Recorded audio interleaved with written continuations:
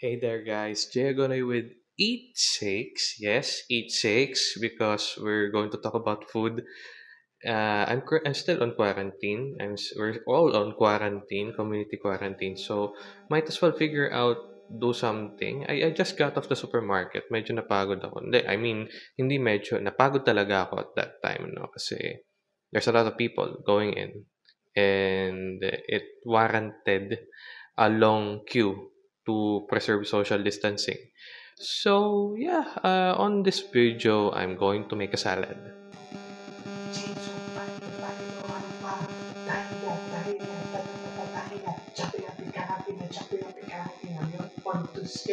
Five lap.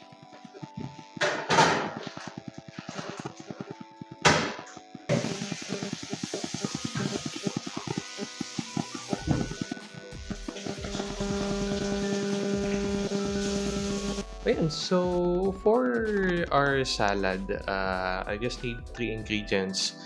Uh, I'm trying to do my best with all of this kasi hindi ako nakabili ng uh, salad dressing.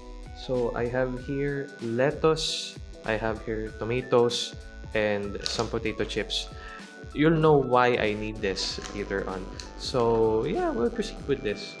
So okay, so let's start doing the salad. Uh, okay, I got here lettuce. This one is of the romaine kind, pero I recommend you to get the Lolo Rosa kind. Uh, green siya, of course. At at its peak, it's still crunchy. Basta salad lettuce, any kind of salad lettuce. But again, I recommend uh, Lolo Rosa. And if there's uh, other uh, parts of the lettuce that needs to be discarded, please do so. It will affect basically how you eat the salad and all that. And hinihimay ko lang yung lettuce accordingly. So, yeah. Ayan. Just, it, it might kind of take of, uh, it might kind of take some time, pero pag nahimay mo na, hindi okay na.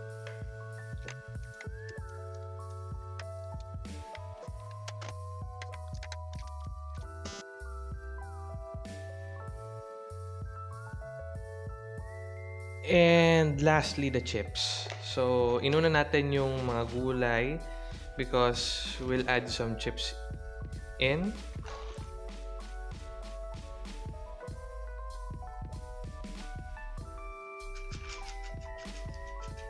Actually, I recommend the Nova chips, the multigrain chips.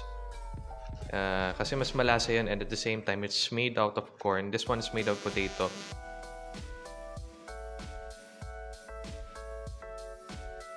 So, ladies and gentlemen, this is the salad that I made out of uh, greens and uh, tomatoes. And at, at, as you can see naman, may kulay pa rin naman siya. So, uh, it also has flavor.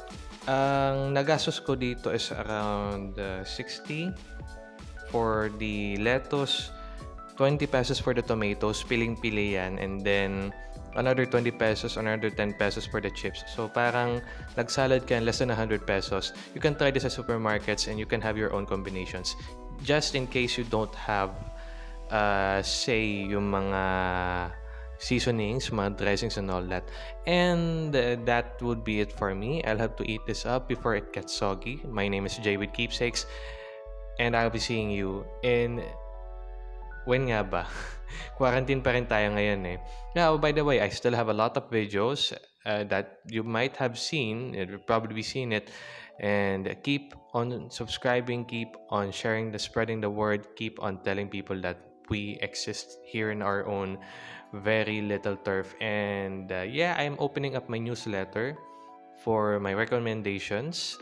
Well, I also share the recipe for this. It's it's a quite simple recipe naman eh. So yeah, uh, go tell your friends to subscribe to Keepsakes, the mailing list on tinyletter.com slash keepsakes.